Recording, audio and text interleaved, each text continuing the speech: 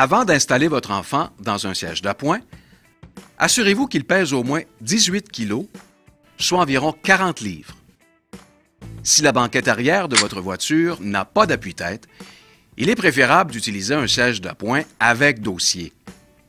Une fois votre enfant attaché, la ceinture doit passer au milieu de son épaule et sur ses hanches. La ceinture doit être bien tendue.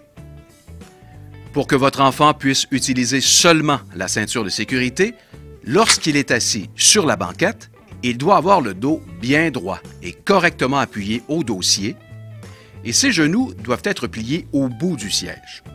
Et comme avec le siège d'appoint, la ceinture doit passer au milieu de son épaule et sur ses hanches.